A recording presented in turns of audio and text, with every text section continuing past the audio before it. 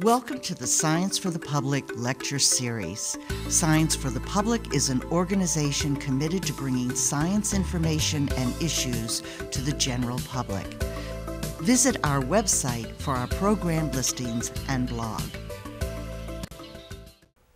Hello, I'm Yvonne Stapp for Science for the Public, and I welcome you to our community television program, Public Science.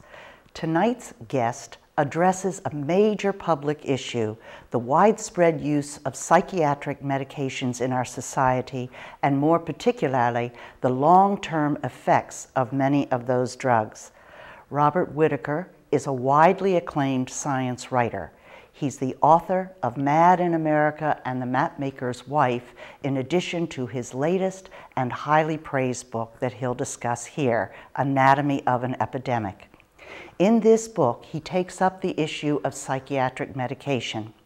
Drugs that initially seem so promising for treatment of many types of mental impairment, such as anxiety, depression, ADHD, bipolarism, and schizophrenia, have actually led to an epidemic of mental and cognitive problems.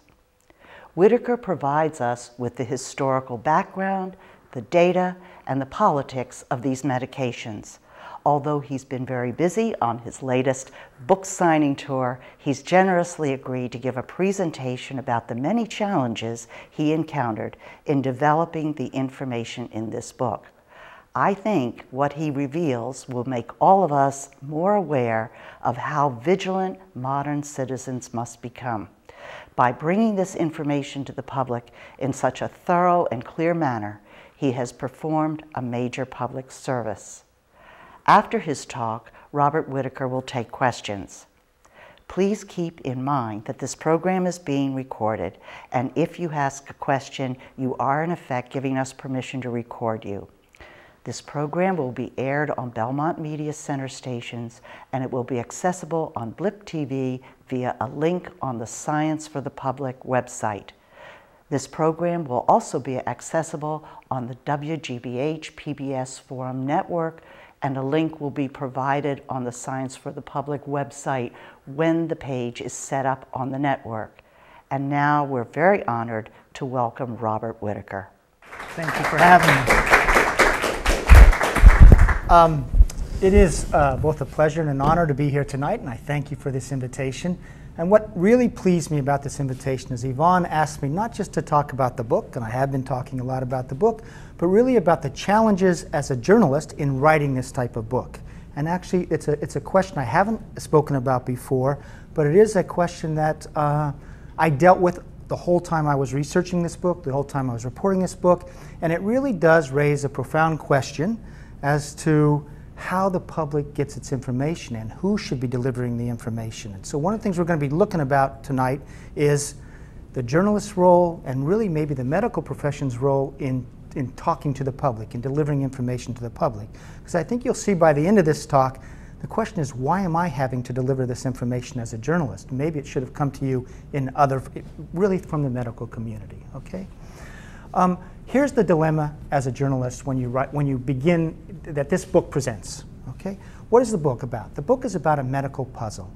And when we look at uh, what our society knows about psychiatric medications, the story our, our society has told itself goes like this. In 1955, Thorazine arrived in, in asylum medicine, and this was the first antipsychotic medication and this ushered in a psychopharmacological revolution, this great leap forward in our care of mental disorders. We got antipsychotics, we got antidepressant drugs, we got anti anxiety drugs. And as the story goes, uh, Thorazine is what made it possible to empty the state hospitals and take care of the severely mentally ill in the community. That's a step forward. You hear in the names a sense that we've now discovered drugs that are antidotes to mental disorders. Think about this antipsychotics, apparently they're doing something specific to psychosis. Antidepressants. All that tells you of sort of drugs that fit into almost a antibiotic model of medicine. Think of the anti word. Okay, and then the next part of this story that we believe in is that these drugs, in fact, fix chemical imbalances in the brain. We've all heard this, that mental disorders were discovered to be caused by chemical imbalances, and these are antidotes to those chemical imbalances. And then going forward, we even have this sense that this revolution in care has unfolded in two steps. We had a first generation of psychiatric medications, Thorazine, um, you know, the tricyclic antidepressants, Valium, et cetera. And then beginning in 1987, Prozac arrived on the market, and this was the first of the second generation psychiatric drugs. And the second generation, that was the SSRIs, the selective serotonin reuptake inhibitors, new antidepressants. They were said to be better than the old tricyclics. And then we got what are known as atypical antipsychotics, things, drugs like Zyprexa and Risperdal. They were said to be better than the old standard antipsychotics. And so if you really hear this, it's a revolution that unfolded in two steps. And by the way, if you look in 1998, uh, U.S. Surgeon General at that time, uh, David Satcher, wrote a, a, a treatise on mental health in this country, and that's the story he told.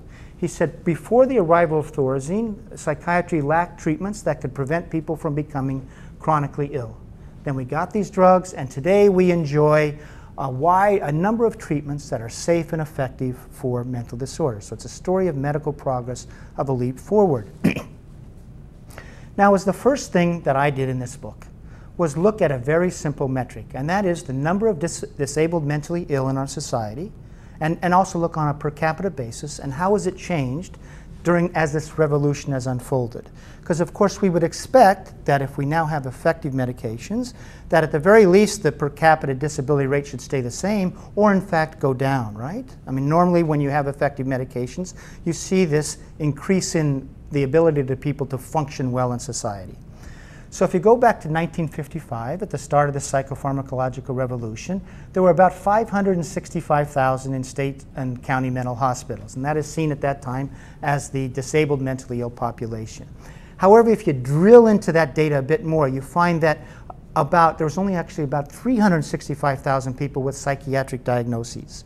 The other 200,000 really were people with other types of ailments, ailments such as Alzheimer's disease, end-stage syphilis, alcoholism, not psychiatric problems. So we had about 365,000 people under state care at that time, and that's a disability rate of roughly 140, one in every 470 people, okay?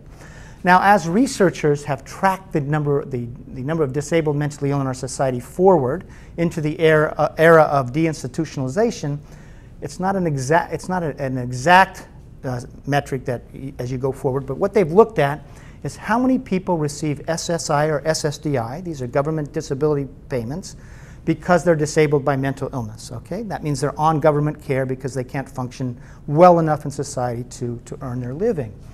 And that's, that's not my metric, tr tracking this forward, that's what other researchers have done. So I'm just following in their path, okay? 1987, at the moment that Prozac arrives in the market, we have one in every, uh, excuse me, sorry. We have 1.25 million people on SSI and SSDI in 1987 when Prozac arrives. That's a disability rate, excuse me, of roughly one in every 184. So we went from one in 468 to one in every 184.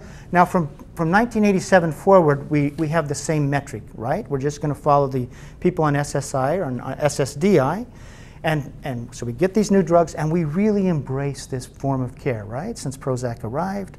Sales of uh, psychiatric medications, we spent about 800 million in 1987. Today we're spending over 40 billion dollars in the United States annually on psychiatric medications. Antidepressants, by the way, we spend more on antidepressants in the United States than the gross national product of Cameroon. Gives you a sense of how, how much we've embraced this form of care.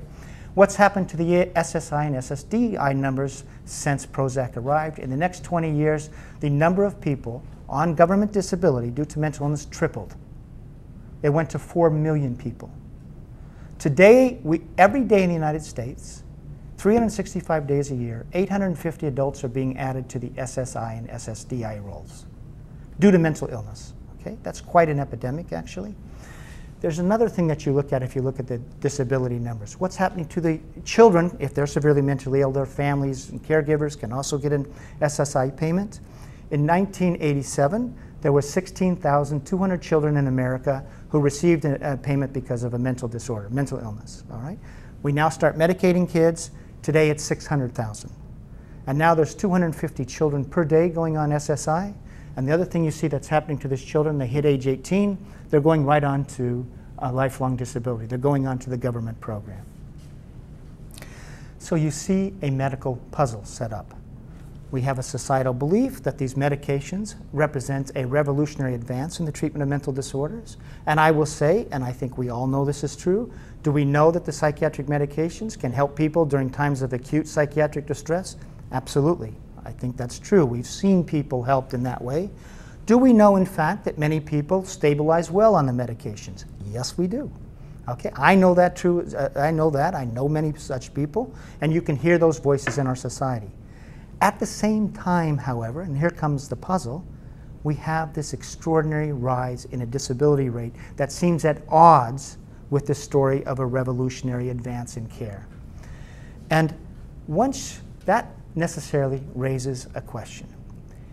It seems, it seems odd, but here's the question Is it possible that our drug based paradigm of care, for some unforeseen reason, is in fact fueling this epidemic? All right, and that's the puzzle I'm asking in here. And once you raise that question, you really have two subsidiary questions that you're going to want to look at in the scientific literature. One is you're going to want to look at how do psychiatric medications affect the long-term course of major mental disorders? Schizophrenia, and I do it for four major adult disorders in the book, schizophrenia, anxiety, depression, and bipolar disorder. Do they shift it, the long-term course for the better? In other words, make it more likely people are able to work, that they're going to be less symptomatic, more functional? Or for some odd reason, when we look at outcomes in the aggregate, do you see in fact that they shift outcomes for the worse? compared to the sort of natural spectrum of outcomes. sort of increase the risk of disability, um, increase the fact that the amount of time people spend symptomatic. And that's one of the things we're going to want to look and see what the scientific literature has to say about that question. All right, and you can see it's a valid scientific question. The other possibility when you look at this disability data is this. Is it possible that uh, you take a person with a mild psychiatric problem, let's say a mild bout of depression, you put them, they go in and they get treated with a psychiatric medication, say an antidepressant, and let's say they now have a bad reaction to that drug. Let's say that with the depressed person on an antidepressant ends up having a manic episode in response. Now, this is well known that this can occur. Then, once they have that manic episode, what's going to happen? They're going to be diagnosed now with bipolar.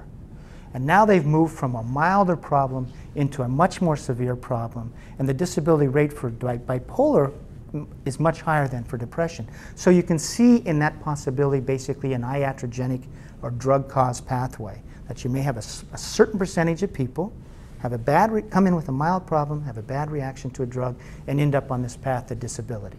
Okay, so that's the two possibilities we want to look at as we go through the scientific literature. Now, why does doing this book present a problem for a journalist?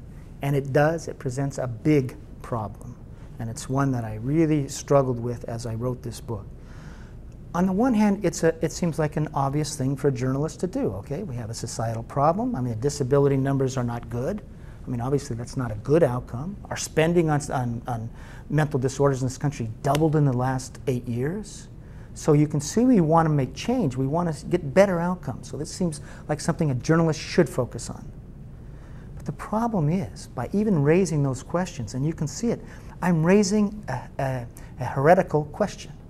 Our society believes this. Our psychiatric establishment believes these drugs represented a profound leap forward in medical care. So it's a question that seems at odds with what society knows to be true. It's at odds what psychiatry knows to be true, the medical establishment knows to be true. So right away, I'm in this sort of heretical position. And the other problem for a journalist is this what does a medical journalist normally do? Well, normally they go to the experts in essence, and their job is to sort of, in essence, translate what those experts say is true for the general public. But by the very sort of nature of the question I'm asking here and the medical puzzle, I'm really in this position of possibly saying to the medical profession, you don't know your own scientific literature, and you're deluded. That's really, so I'm in this odd position in relationship to the experts in the field. And it's a really profoundly sort of difficult position and uncomfortable position to be. Now, because Yvonne uh, asked me to sort of talk also about a journalist role, I want to tell you how I ended up here. Okay, a little bit of the history. How did I end up asking this heretical question? Uh, I've been writing about medicine and science really about 20 years. And what happened was in 1989, I'd been a newspaper reporter covering general stuff before that. In 1989, I was at the Albany, uh, Albany Times Union newspaper, and I was made the features reporter covering medicine and science. So this began my career as, as covering, writing about medicine and science. I do that for a few years there. In 1992, I came to Cambridge on a, a, fellowship at MIT, a Knight Science Journalism Fellowship. It's a mainstream fellowship. Shortly after that, I actually left daily newspapers. I, for a while, was the uh, director of um, publications at Harvard Medical School. You can see I'm all right in the mainstream here.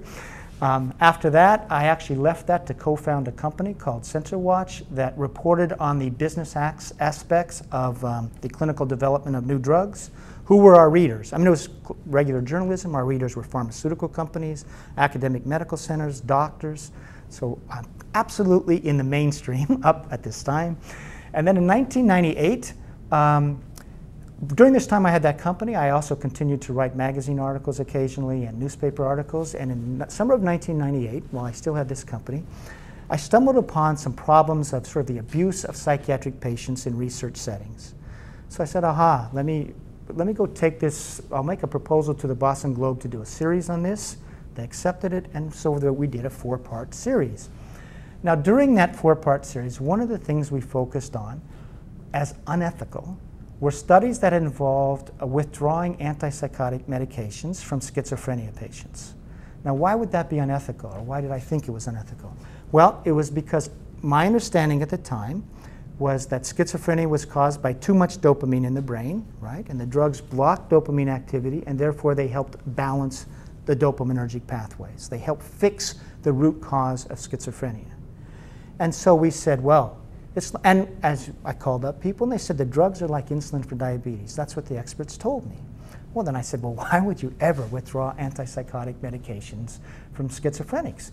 You wouldn't do, from people with schizophrenia, you wouldn't, would you ever draw, withdraw, do studies where, where you withdrew insulin from diabetics? You wouldn't do it, right? So we write that this is abusive, and it's, you know, it's an example of abuse of psychiatric patients. And, and that series, by the way, we did other abuses as well. It won some awards. It won a George Polk Award. It was a finalist for the Pulitzer Prize. So at this point, I'm absolutely comfortable as a medical journalist. I'm following a mainstream thing. But what happens? As I was doing the reporting for that series, I came upon two studies that I didn't know what, two outcome studies related to schizophrenia that totally didn't make sense. The first one was a, a, study by Harvard medical researchers that looked at outcomes for schizophrenia patients, and this was published, I think, in 1994. And they had found that outcomes for schizophrenia patients had actually declined in the past 15 years. And here's the kicker, and were now no better than they were in 1900 when water therapies were the order of the day. Now remember, I'm a believer at this point in the story of progress, and now all of a sudden I come upon this big picture outcome study, and they say things haven't improved since 1900. It sort of belies that story of progress. Now, then I also looked at, there was also uh, studies by the World Health Organization, and these studies went back to 1969. And what it did, in the World Health Organization had done, is they had compared outcomes in three, three poor countries of the world, schizophrenia outcomes, specifically India, Colombia, and Nigeria, with outcomes in the US and seven, six other rich countries. They do this one time and they find it's a five year study and they find that outcomes are much better in the poor countries of the world. They wonder, well, how can that be? So they're going to repeat the study. And by the way, the diagnoses are being made by Western doctors, okay? And uh, they hypothesized as they repeated this study, well, maybe the reason, oh, and by the way, stop for a second. They concluded that the outcomes were so different, the divergence in outcomes was so profound, that living in a developed country was a strong predictor that a person would never fully recover from schizophrenia. So there's this real sense of failure. And so they hypothesized that, in fact, maybe the thing is in the poor countries, people are more medication compliant. They take their medications more regularly. So they looked at medication usage in that second study. Now, two things happened in the second study. Indeed, once again, they said our first, our first findings are confirmed. Outcomes are much better in the poor countries of the world. Then they looked at medication usage, and here comes the surprise. In the poor countries of the world, only 16% of patients were regularly maintained on antipsychotic medications. Whereas, of course, in the developed countries, that was the standard of care. So you can see why these gave me pause. These ran exactly, contra- they directly contradicted what I had just written about in the Boston Globe, which was that you should never take people with schizophrenia off their antipsychotic medications. That's abusive. We know they fix chemical imbalances. So I was left with this sense of confusion. And what I did at that point is I got a contract to write Mad in America, this first book, that really was ended up two things. One, it became a, um, a history of the treatment of the severely mentally ill in our society, okay, from colonial times till today. But the second part of the book really was to look at this modern failure. Why are outcomes better in the poor countries of the world than they are here, right? And also to look at this question of medication usage. Is there some reason that the fact that they're not keeping everybody on medication in the poor countries of the world is that in some reason actually helping get better outcomes. And by the way, in that WHO study, the World Health Organization study, by far the best outcomes were in rural India, and there they had almost nobody on their medications long term. All right, so that's um, how I got to uh, Mad in America. Uh, real quickly, Uh, you know, I go through the, the research literature, mainstream research literature, and when you do that, indeed, and we're going to go through this in just a minute, so you'll see what the science has to say, but you do come at the end to understand why sort of a selective use of the meds would in fact lead to better outcomes. So I published that book, and what happens? This was my first experience as a heretic in, in our society. Some people, you know, many people liked the book. Other, you know, certain reviewers praised it. It's now taught in certain colleges and other people just damned it big time, and especially psychiatrists. Um, uh, my favorite review of this sort was uh, written by a Chicago uh, uh, psychiatrist, and his opening line of his review was this If Fox Television ever wants to do a show on good journalists gone bad, they can start with Robert Whitaker and Mad in America. so, but the point is, it's a difficult position to be a journalist contradicting sort of conventional wisdom, even though the only thing I did in this book, and you're going to see it in a second, is look at what the mainstream research actually showed, long term studies. Okay, I was doing nothing more than what any sort of evidence based reviewer would do. That book comes out. Uh, as uh, Yvonne said, I then wrote another. I wanted to get away from psychiatry, frankly wrote another book called uh, Mapmaker's Wife, nonfiction, and another book called On the Laps of God, which deals with the racial massacre and a court case. But I kept being asked to speak about this topic, and finally someone asked me to do a paper on this topic, and I said, okay, and to expand beyond schizophrenia. So I said, let me look at the disability data. I looked at it, and you've got the same problem, in essence, that I saw with schizophrenia, is that something doesn't add up. So that's how I ended up writing this book. But you can see it, I guess the point of this is this I was a believer, and I followed actually a very traditional journalistic path to writing this book, and that was trying to solve a puzzle, trying to solve a problem. Okay? Now, the way what we're going to do in, in Anatomy of an Epidemic, what I do is I, I like I do is I chart the long-term outcomes literature for um, as I said, four disorders schizophrenia, anxiety, depression, and bipolar disorder.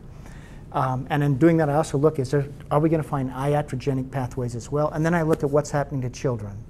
Uh, when we look at long-term outcomes, as you know, we've, we've embarked at this embarked in this extraordinary medical experiment where we are medicating a, a sizable percentage of our children, and how's that turning out? How are those children doing long term? Okay, and that's the second part of the book. Now, sort of as a first uh, step on this, it's, I want to um, talk about the evidence-based, what we're going to do here, excuse me. We're going to do this for antipsychotics again, and there's a reason we're going to do it, what's we're going to spend the most of the time, and then I'll, I'll go real quickly on the antidepressants and bipolar, et cetera.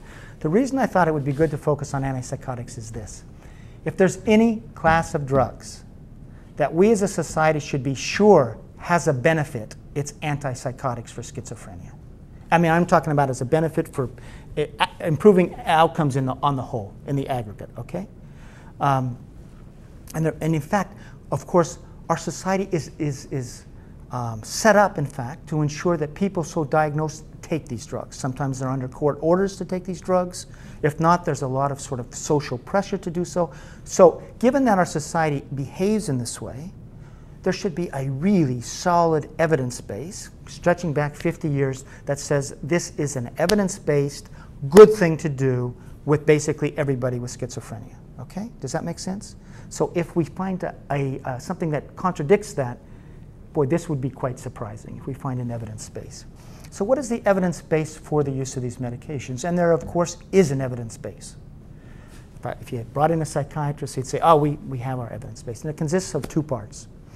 If you take 100 people with psychotic symptoms, okay, and you randomize them into two arms, and one group you give, let's say they newly psychotic, and you give one group drug and one group placebo, at the end of six weeks, no question, the psychotic symptoms have abated more in the drug-treated group. Okay, and that means that's why they're considered efficacious for FDA purposes.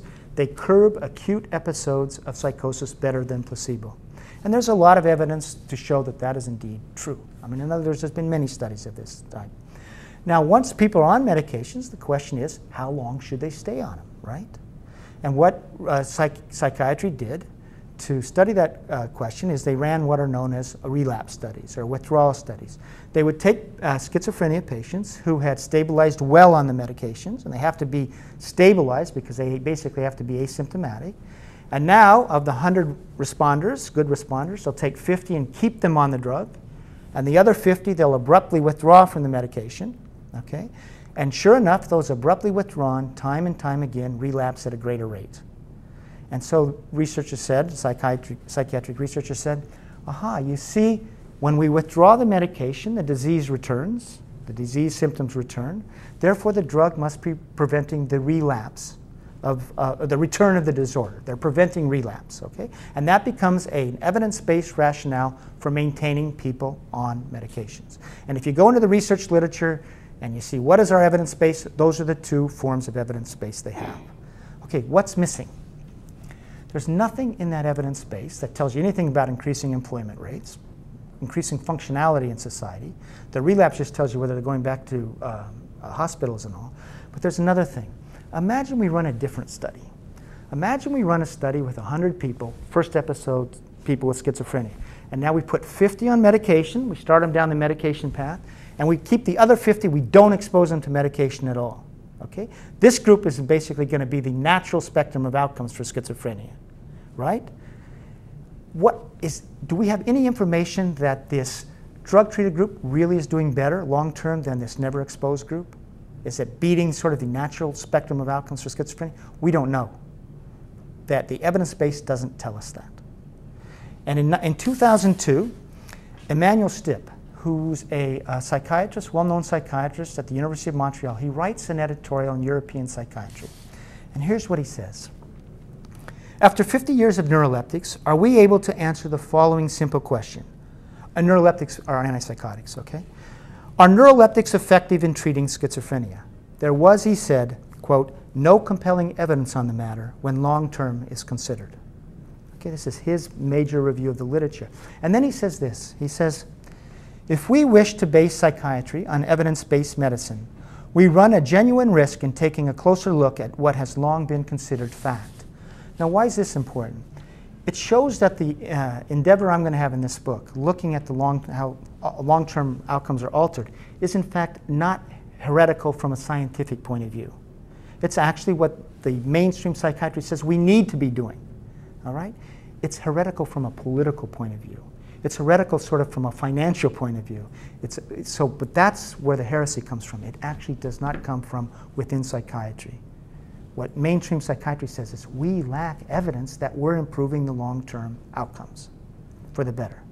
Okay, so can you indeed, excuse me just for a second, can, but if you look at Emmanuel Stip, he's saying we lack evidence. He's not saying we, we're finding that maybe the evidence is there showing we're worsening outcomes, or in fact that maybe drugs should be used in a different manner.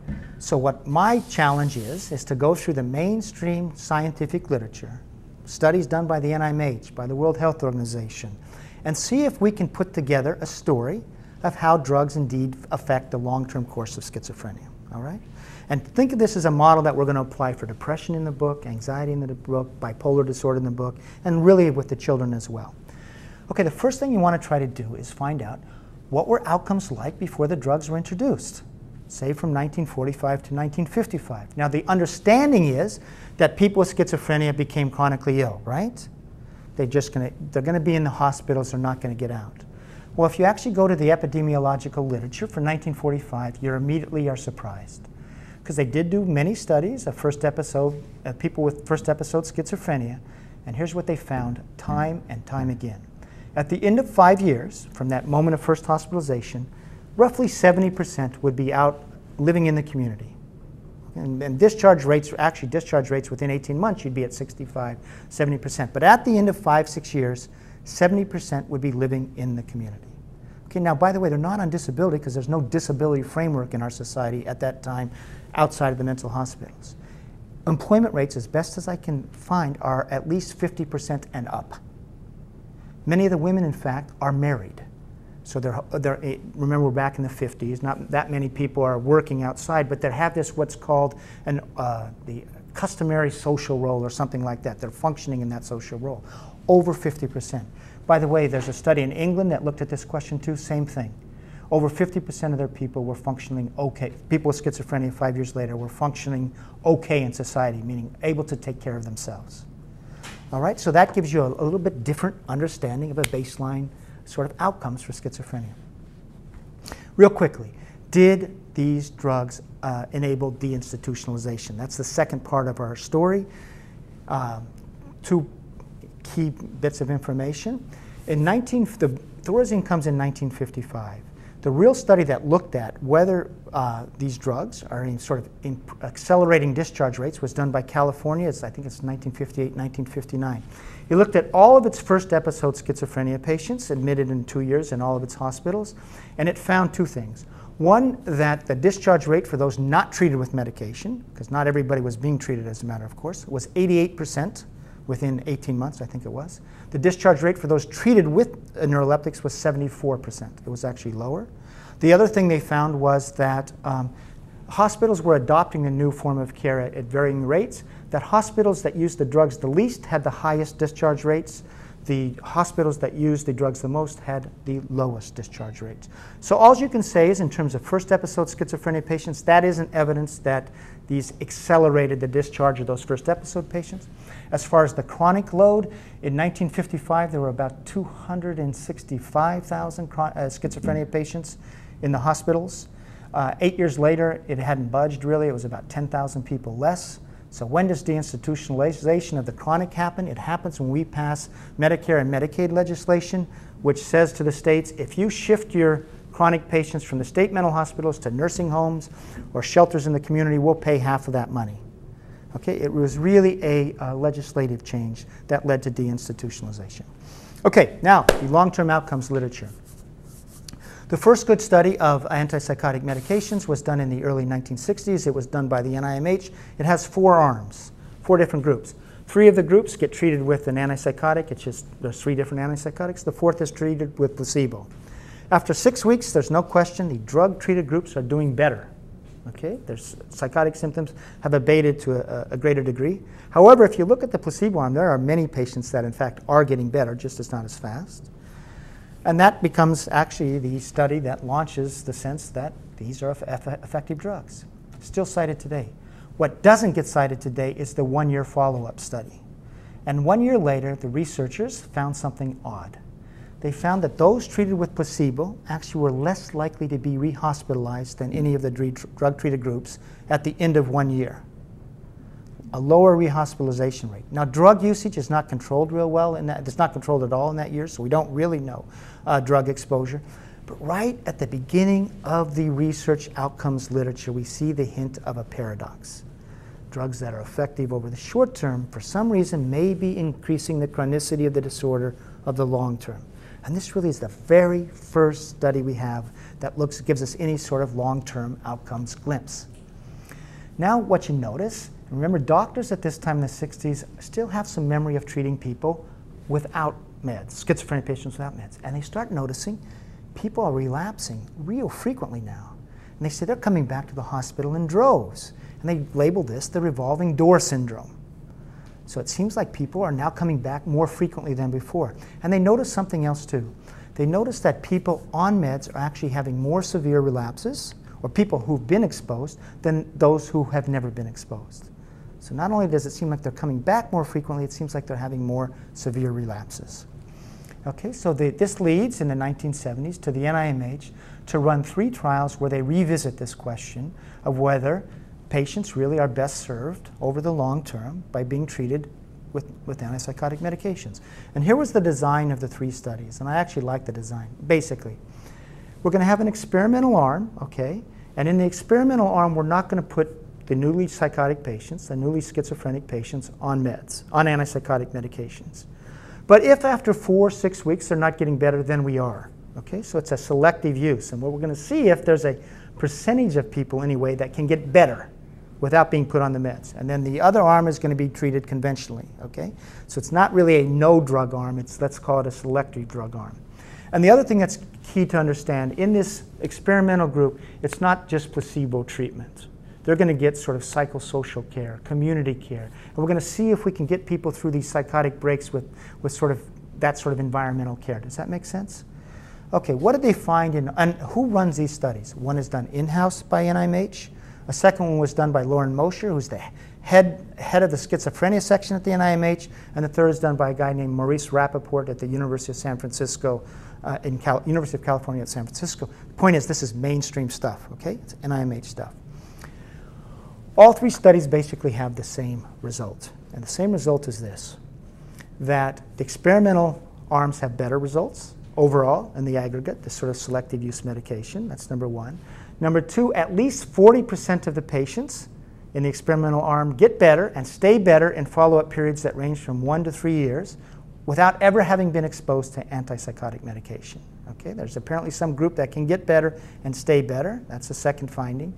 And the third finding is that it's this group that somehow can get through that psychotic break without being exposed to medication that has the best overall long-term outcomes, the best functioning. Okay? And I just want to read to you what the findings were in the 1970s from these three studies. Here's Maurice Rappaport, and he's one of the, he ran a three-year study. He says, our findings suggest that antipsychotic medication is not the treatment of choice, at least for certain patients, if one is interested in long term clinical improvement. Many unmedicated while in hospital patients showed greater long term improvement, less pathology at follow up, fewer rehospitalizations, and better overall functioning in the community than patients who were given chlorpromazine, that's Thorazine, while in the hospital. Okay, that's one finding. Here's Loren Mosher of the second group. Okay, he's the head doc, head schizophrenia doctor in our country at the time. He says, contrary to popular views, minimal use of antipsychotic medications combined with specially designed psychosocial intervention for patients newly identified with schizophrenia spectrum disorder is not harmful but appears to be advantageous. We think that the balance of risks and benefits associated with the common practice of medicating nearly all early episodes of psychosis should be re-examined. Okay, again, what do you see here? You see uh, this sense that if we're interested in long term, we should have sort of selective use of care. The third guy, William Carpenter, said, here's what I think is happening. It seems like those who go through their psychotic break unmedicated actually are learning some coping strategies. And he says, those that didn't um, and then when he said, and that by going through the psychosis in this way, they are better able to cope with subsequent life stresses. So there actually was some advantage for some people for going through the uh, symptoms in this way. But then he raises a really key question. I'm talking about William Carpenter. And it's really sort of an oh God moment for psychiatry. He says, there is no question that once patients are placed on medication, they are less vulnerable to relapse if maintained on neuroleptics. But what if these patients had never been treated with drugs to begin with? We raise the possibility that antipsychotic medication may make some schizophrenia patients more vulnerable to future relapse than would be the case in the natural course of the illness. So he's saying at this moment, maybe these drugs actually increase the biological vulnerability to psychosis over the long term. That's why you're getting these increased relapse rates, et cetera. And you can see why this is such a problem for psychiatry, is that all drugs have a risk benefit profile. If we're making people more, and the benefit obviously with antipsychotics is we knock down psychosis. But if they're increasing the vulnerability to that target symptom, where is the benefit, at least in the aggregate? Okay? And um, at that time, by the way, uh, uh, two researchers from the University of Montreal uh, Guy and Barry Jacobs, Barry Jones, excuse me, came up with a biological explanation for what is going on. And it's really sort of brilliant science. And here's what they said. Um, psychiat- uh, antipsychotic drugs work by blocking dopamine receptors in the brain, and they actually block somewhere between 70 90% of a particular dopamine receptor called the D2 receptor. Okay? So it puts the brake on dopamine transmission. Now, the theory had been, of course, that people with schizophrenia had overactive dopamine systems. Um, and they investigated that, and let's see if I can do this real quickly. So here's the thought. Here's how neurotransmitter systems act in the brain. So this is the thought of what causes schizophrenia. You have presynaptic neurons that release dopamine into the synaptic, synaptic cleft, and then that, that molecule binds with receptors on the postsynaptic neurons. So the theory was that with schizophrenia, either these presynaptic neurons put out too much dopamine, okay, or conversely, there were too many dopamine receptors, uh, uh, too many receptors on the postsynaptic neurons. One of two things happened. They investigate this, and it, um, they find that's in unmedicated patients, that's not so. Okay? And in fact, I, I could tell you how they investigated, but it takes some time. But for example, Stephen Hyman, in his 2000, Stephen Hyman is the provost at Harvard University. He's the former director of the NIMH. He's a neuroscientist. And in his book, uh, 2002 book, Molecular Neuropharmacology, he sums up this whole research into the dopamine hypothesis of schizophrenia. And he says, there is no compelling evidence that a lesion in the dopamine system is a primary cause of schizophrenia. They just didn't find that chemical imbalance in unmedicated patients, okay? But what happens to medicated patients? And what the Montreal guy, what was found was this the drugs act as, an, as a brake on dopamine transmission. The brain says, uh oh, that's a problem. And it tries to compensate for that brake. And it does so in two ways. The presynaptic neurons, for at least a period of time, now start pumping out extra dopamine. Okay? That start trying to put the accelerator down. And the postsynaptic neurons increase the density of their dopamine receptors. Now the brain is super sensitive to dopamine. So the drugs were actually found to cause the very sort of pathology or abnormality that was uh, hypothesized to cause psychosis in the first place. And that's the increase, the, these guys say, that's the increased biological vulnerability. You can see, again, we have this other oh my God moment. And they say, for example, neuroleptics, I'm talking about uh, uh, Chouinard, and Jones, they say neuroleptics can produce a dopamine supersensitivity that leads to both dyskinetic and psychotic symptoms. An implication is that the tendency towards psychotic relapse in a patient who has developed such a supersensitivity, and they all do, is determined by more than just the normal course of the illness. Okay? Now, let's now go back to the withdrawal studies. Remember what's happening. You go on drug, it blocks, acts as a brake. Brain responds by putting down the accelerator. Okay? Now let's abruptly withdraw the brake. What do you got left? You got an accelerator down. And this is the reason they said you're getting all these severe relapses, because they are now indeed in an unbalanced state. Okay, does that make sense? But then they said, but now let's look at what's happening long term. Imagine a car you drive where you got the accelerator down and the brake down at the same time. It might sort of be uh, wear on the car. And they said, it looks like the same thing happens to the dopaminergic pathways. They start to become dysfunctional after time. So for example, one of the pathways in the brain is to the basal ganglia. The basal ganglia controls motor movement. And they say, what do we see with patients that are on these drugs uh, for a longer period of time? We start to see tardive dyskinesia. Tardive dyskinesia is as often you'll see this, you'll see people licking their lips. And the tongue will just keep going around. That's just one of many symptoms. Why? Because the basal ganglia can no longer control tongue movement. So the basal, we see tardive dyskinesia, and that's a sign that the basal ganglia is actually uh, misfunctioning, okay? All right, so that's a sign it's beginning to be permanently dysfunctional. Well, and where's a, a second uh, pathway? Goes to the limbic system. The limbic system is seen as uh, uh, a mediator of psychosis. And these guys said, well, if we're getting dysfunction there, we're probably getting uh, dysfunction in the limbic system. And, they, and sure enough, they find that that happens as well. And by the way, these dysfunctions seems to hit at about 5% per year. So after one year, 5% of patients have tardive dyskinesia. After two years, it's 10%. After three years, it's 15. And here's what they said. This leads to something we call tardive psychosis And when this tardive psychosis sets in, the illness appears worse than ever before. New schizophrenic symptoms or original symptoms of greater severity will appear. The third uh, sort of pathway goes to the frontal lobes. If that pathway starts to become dysfunctional, you, they said you're going to get cognitive decline, and sure enough, you see cognitive decline over time as well. So in 19, uh, I think it's 78, as this is all coming together, the science is coming together, Jonathan Cole, the father of American psychopharmacology, who did that very first study in the 1960s at the NIMH, he writes a uh, paper called Is the Cure Worse Than the Disease? And he says, listen, we've got this problem. We've got tardive dyskinesia. We have this relapse problem. And he says, at the very, what our studies show is that at least 50% of patients treated with schizophrenia would do better off the meds.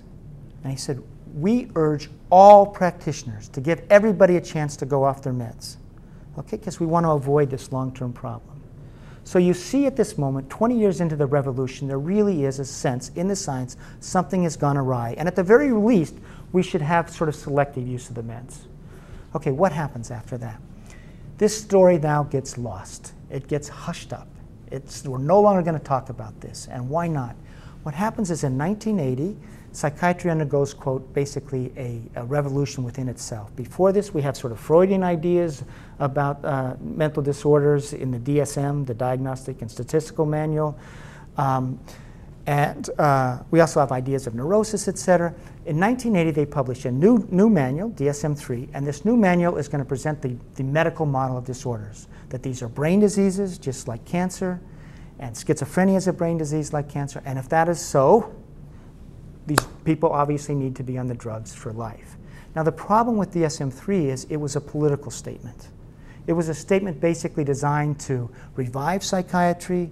It was designed to protect the prescribing powers of psychiatry and, and, and sort of re, because psych, the sale of psychiatric drugs in the 1970s actually goes down.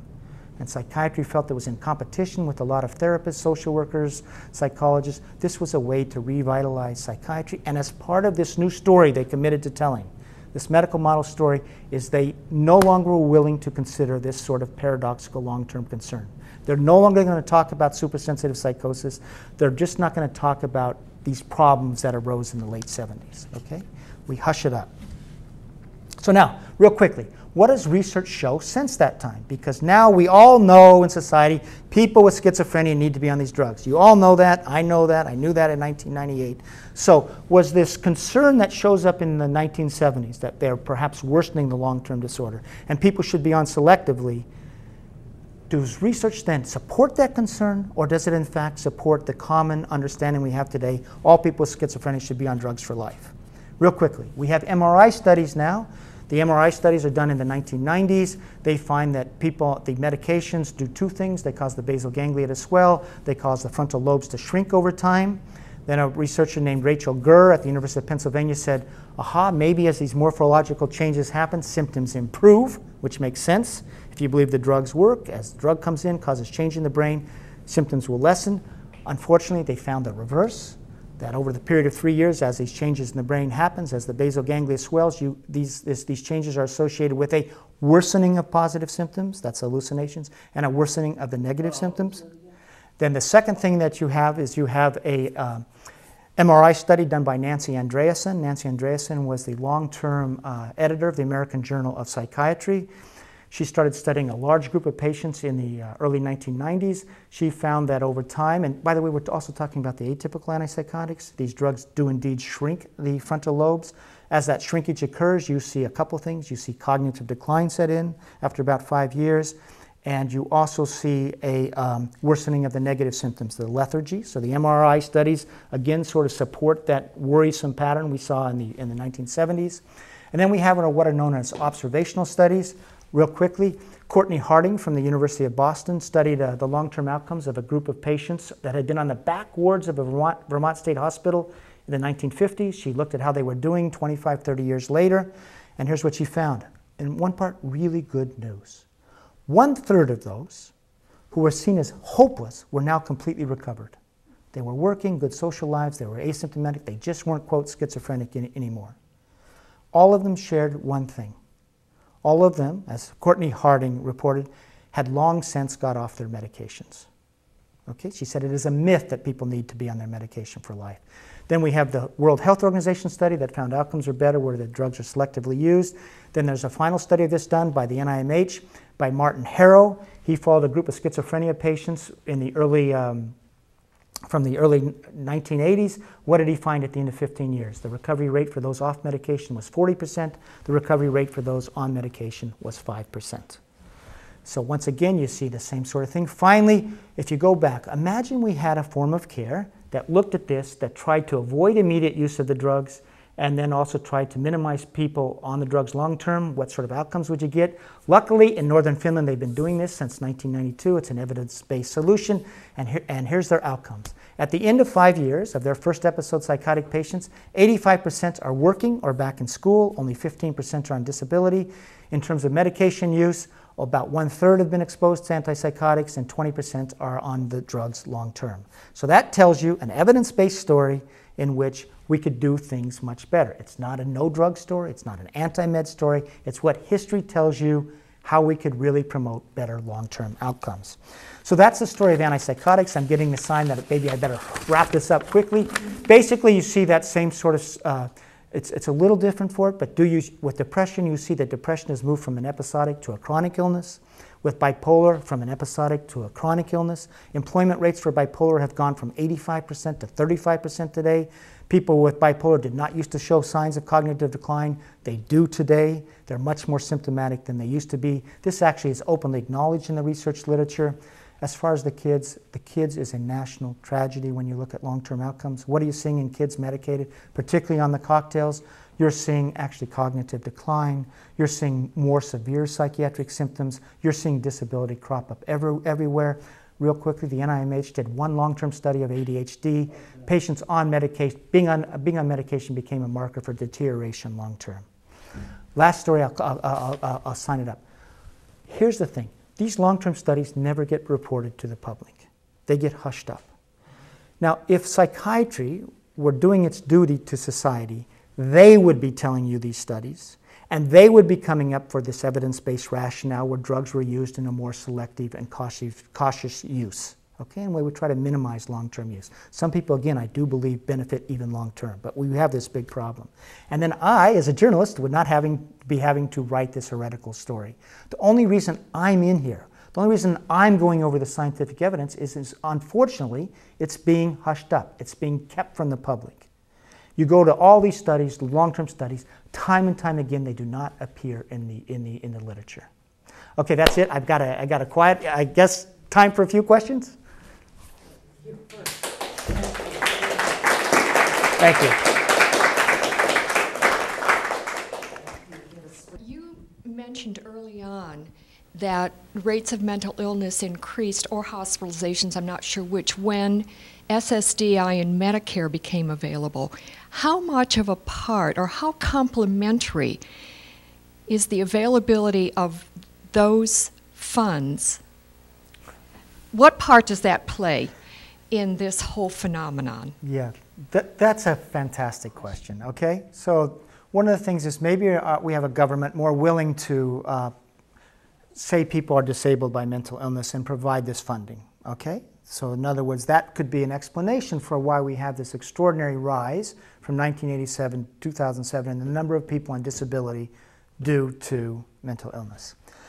I think that is part of it, okay? And I'll give you an example. Before, there was a time when if you had a mood disorder, depression or bipolar, those were not seen as disabling disorders. Most people got past the depression, past the bipolar, and they were expected to go back to work. It was seen as episodic. But they did get sort of redefined as chronic disorders. Now, they actually get redefined once people are medicated and they start becoming more symptomatic, more chronically ill. You see this switch. But here's sort of, my, I know this is a complicated answer. Do I think that's part of it? Yes.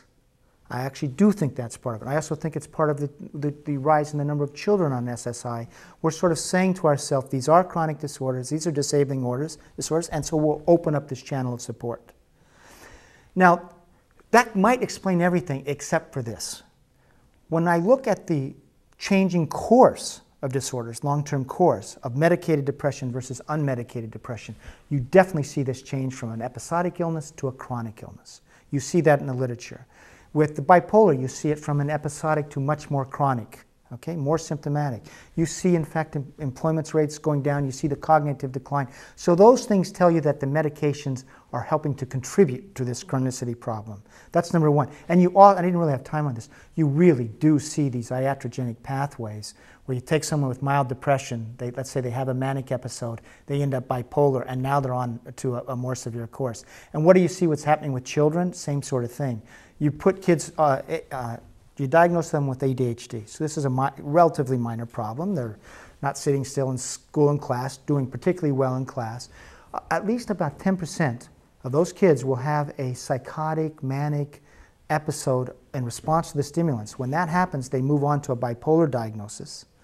Then they're put on a cocktail that includes an antipsychotic. Now they're really in trouble because those cocktails they, they, they diminish they make them lethargic they make them less emotionally engaged you do see cognitive decline setting in long term they are just really problematic so we have this thing where you take a kid who's fidgeting and years later he's on this cocktail he's really on a path to lifelong mental patient so great question i actually do think that the, the change in cultural standards has contributed to that rise but we also have this problem with the medications themselves and how they're used and i do want to say emphasize I do believe medications have a place.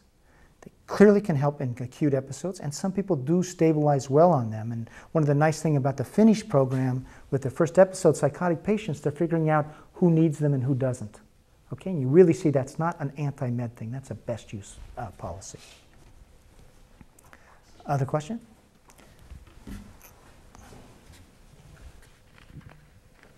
Until you mentioned the Finnish program, it seemed to me that maybe there was an expectation in certain parts of the world that you just have to function, and that if there was just no option for drugs, um, so that there was a certain level of functioning that people could do that maybe in places like this country where drugs are easily available and it's nicer to have drugs, you can take them and go on with your life and just be more functioning.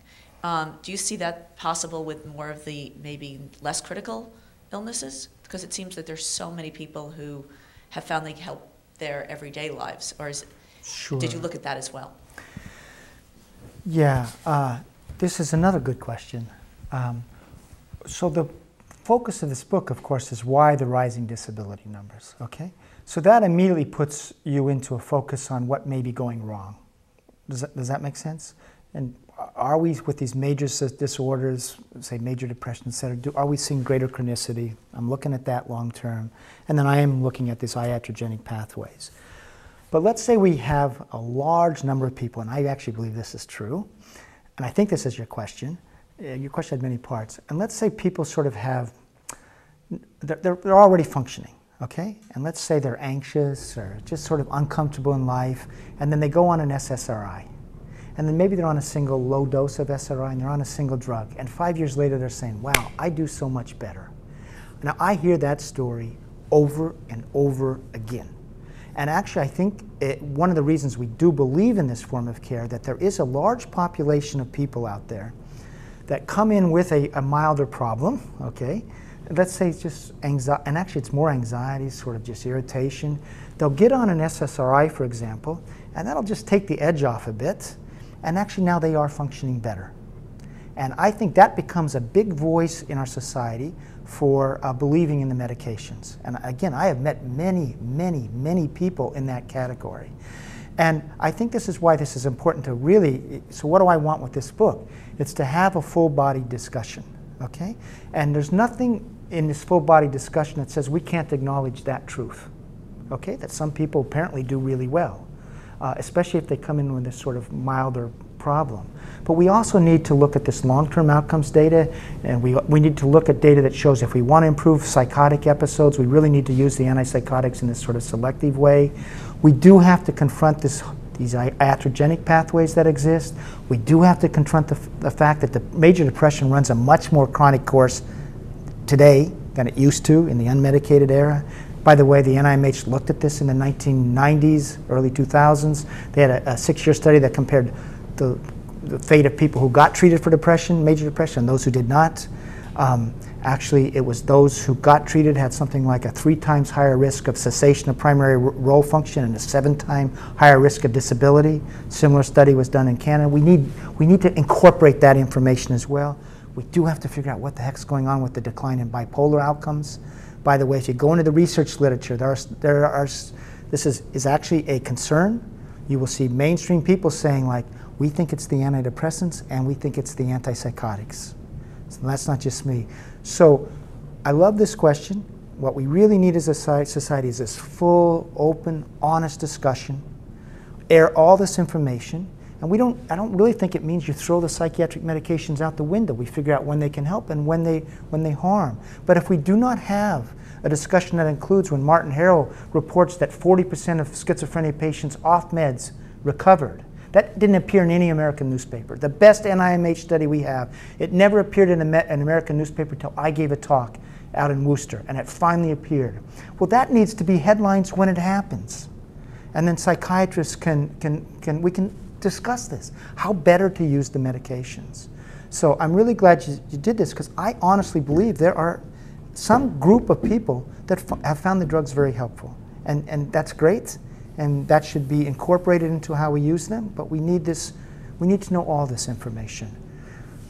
And okay, sorry. I hope I answered your question. One more, and then we'll have to close it up, and people can come talk to you. Okay. Um, thank you. I was wondering, you mentioned some studies with first world or the richer countries versus the third world countries, and the there was an unexpected result of a improvement, a long-term um, improvement in uh, the schizophrenic patients. And you mentioned sort of the idea that perhaps um, drug use was either um, less or was less followed. And I'm, I'm wondering, was there also any attempt to see if there's any societal or um, family or work type of patterns or issues that were present or not present, like in the third world, that made it easier for people to do better in the long term? Is there right. other factors besides drug medication usage? Medication. And this actually goes a little bit to your question too, is if in some of these other cultures where there maybe isn't a disability system, right? Um, and people, and maybe people can go work out in the fields or whatever it might be. There might be lesser stressful things. Um, they, that actually was the hypothesis or the solution that uh, the mainstream psychiatry settled on. That somehow in the poorer countries of the world, uh, you know, that people could have, there was sort of more community support, number one. Number two, in fact, they didn't have a disability system, so they had to find some job. Um, and that in, in turn, the fact that they're still in society actually becomes sort of healing on its own, okay? They're not isolated. I believe all that is true okay? That those are all factors and they're not just idle explanations. The only thing I think you have to work in at the same time is A, we did see that it's possible to recover without, you know, without staying on medications long term in those societies. And by the way, in those WHO studies, they eventually came back and looked at long term, and the, in the, those patients in those studies, they were really doing long, 20 years later, really doing well. That's number one. And two, we do have to look at our own studies back in the 70s and then also the Finnish studies to improve long-term outcomes and higher employment rates. You want to use the meds in this sort of selective ways. And you actually want to try to avoid putting people down the medication path because it's so problematic. So the, my answer to you is, are there cultural factors involved in the WHO studies? Absolutely.